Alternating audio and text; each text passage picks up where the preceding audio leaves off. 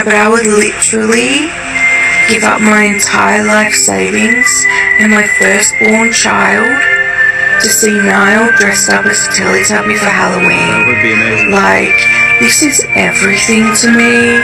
Um, please, Niall, make this happen. Um, I need this win.